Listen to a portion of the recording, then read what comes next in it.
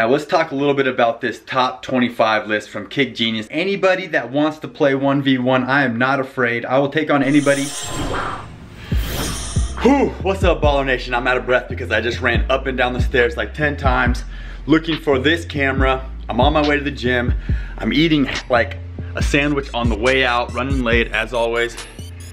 Right there crushing the sandwich and uh, yeah, I'm gonna go pick up Troy and hit the gym. I'm gonna go eat dinner with my parents tonight. Uh, I also have a clinic to run today. I gotta plan that out and we're just gonna go to the gym, get a quick workout in right now, play some one-on-one. -on -one. Hopefully I can get a lot of footage for you guys today. And I wanna start getting you guys one-on-one -on -one footage so that you can see me play one-on-one, -on -one, see my style, whatever, maybe pick a few things up and maybe see me lose a few times too.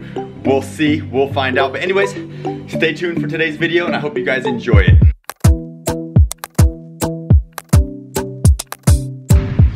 Made it to the gym now. And Troy, I told Troy, there's Troy. Say what's up. I, uh, I told him that I was gonna tell him something funny about this YouTube world. Okay, so here's what's going on. All these YouTubers now are releasing videos saying who are the top 25 best basketball YouTubers, like hoopers, like who's got game. Yeah. So yesterday, I watched the video top 25. Your boy's not even in there. You're not in there? No. So anyways, what I'm gonna go, go ahead and start doing is posting more one-on-one -on -one videos. Maybe posting some game footage. Okay, I gotta get in some pickup games. It's hard to get that stuff filmed, but one-on-one -on -one, I can set up a tripod. Uh, and yeah, anyways, so stay tuned. One-on-one -on -one footage coming. And me and Troy have played our fair game of one-on-one. So we're, you know, probably what would you say, about 50-50? Yeah, maybe 60 since, 40. Since the beginning. Lately, I okay, I got you last time, but I would say we're about 50-50. You got me the time for that pretty good. So anyways, yeah, so we'll, I'll definitely be posting some of that, but if you guys want more one-on-one -on -one videos, make sure you guys hit the like button to let me know, and let me know in the comments as well.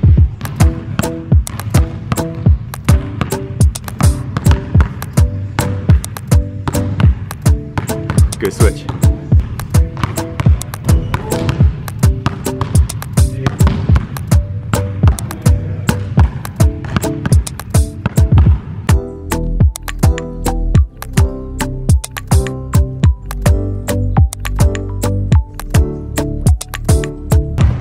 Good, five makes. Good, just a little spin is needed.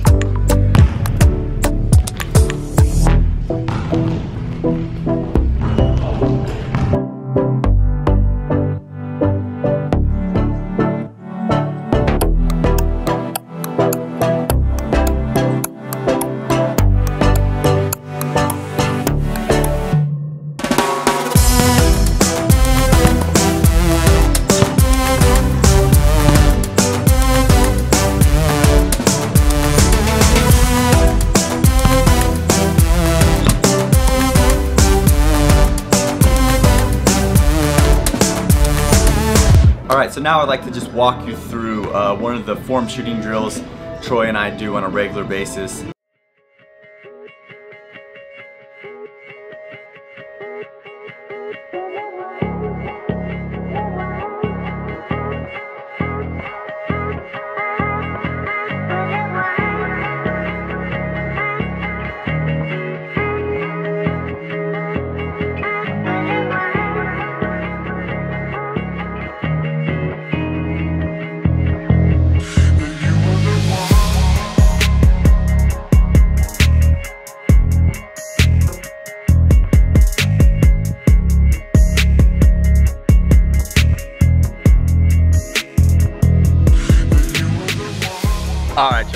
Probably the sweatiest you've probably ever seen me. Eh, I don't know, you probably can't even tell on camera.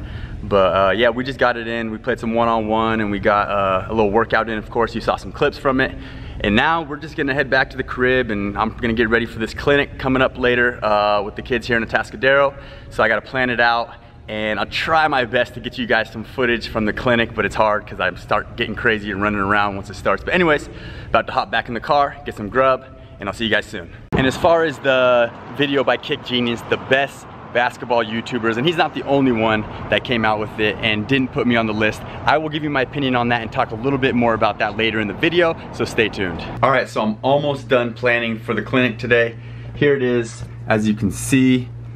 Um, so the word of today is presence, and we're gonna talk about court presence, one who owns the basketball court, one who is confident, one who commands the floor, one who shines by just walking in the room, and that's an important one. One who shines by just walking in the room. That is uh, what basically I'm gonna be stressing to these guys is when they walk into the gym, come shake hands, eye contact, make your presence. Then we're going into full court layups, okay? Now these are actually full court speed layups, speed dribble, protect dribble.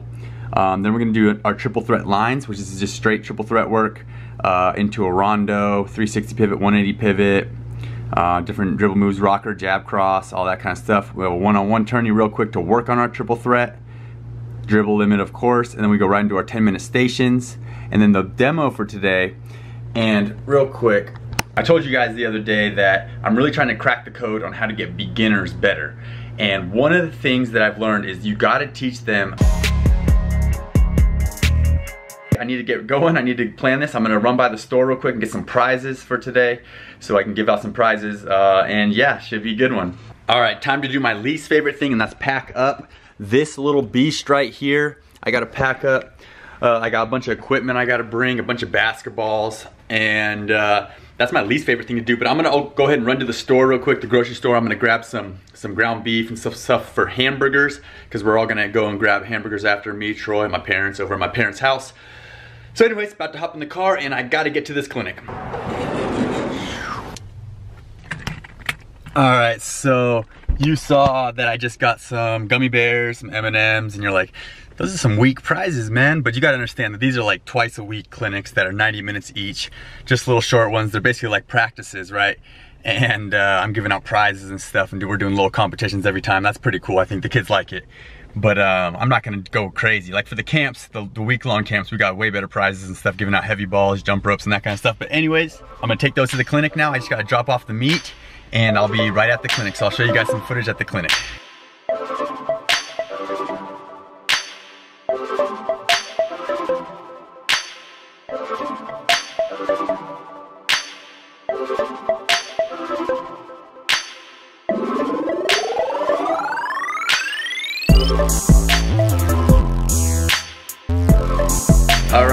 Got done eating. Everything was good, went good, had some burgers. All right, everybody, this is Alex right here. As, he, as you can see, he's rocking the Baller Boot Camp shirt. Yeah. If you guys go ahead and get this video to, let's say 300 likes, I'll go ahead and get a workout in with Alex and we'll drop that, we'll film it. Coach Troy over there that you guys might recognize. All right, it's time to get right into that good stuff, finally.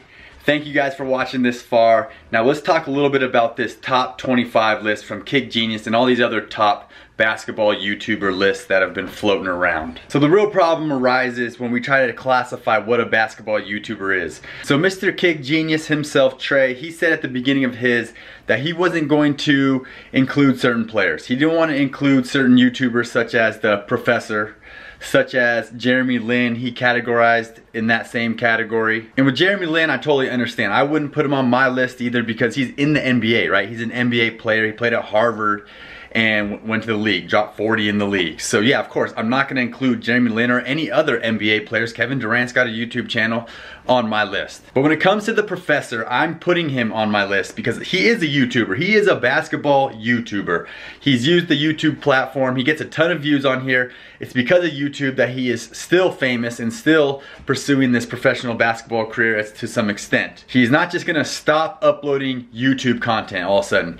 He's in it for the long haul. He's a basketball YouTuber. And then he goes on to say that he's not gonna include people like Coach Rock or Shot Mechanics because he said there's just not enough footage of them actually hooping on YouTube and they're just kind of a different category, right? They're tutorial based. Now this is where a lot of you guys were saying that I fall into that category. So what I say to that is that how does Dre Baldwin then make top 10?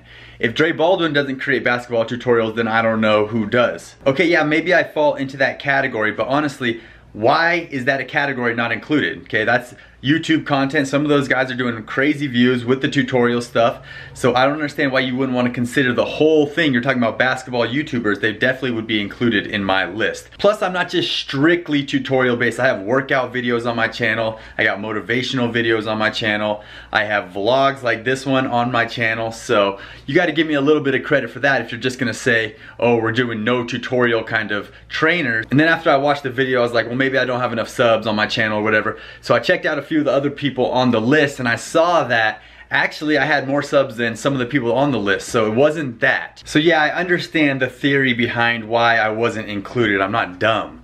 But at the same time, it's like, you're gonna go and create a non-bias list, then why wouldn't you create one that includes all YouTubers and the ones that are the best at basketball? I need to go create my own list now. So if you want that, make sure you hit that like button. Let's get it to 300 likes and I'll go ahead and do that as well. And I'm gonna do it a little bit differently. I'm gonna base mine based on credentials. Okay, what have you done? You can research that kind of stuff where did you play college ball, etc. I'm gonna base it on what I've seen on YouTube as far as how your jumper looks, what kind of game you have.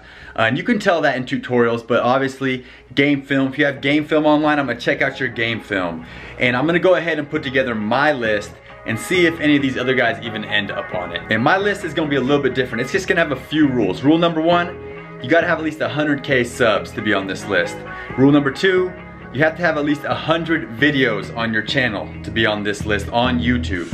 Rule number three, you can't be in the NBA, okay? You can't be an NBA player or just be big on YouTube because you're some sort of celebrity. So I think I need to like rearrange the way these lists are made up because they're obviously all saying unbiased, but they, I feel like they are biased, right? Especially if you're not including all these other kind of categories of basketball players. And I'm not here to call anybody out, but I am not afraid to play 1v1 or play fives with any YouTubers on YouTube. I would even be willing to do a 1v1, no edits, no cuts, straight through against anybody. So if anybody wants it, get in contact with me and we can make that happen. LA is not too far, I can drive down, just let me know. And yeah, like I said, I'm gonna start posting some 1v1 stuff on the channel so you guys can check it out.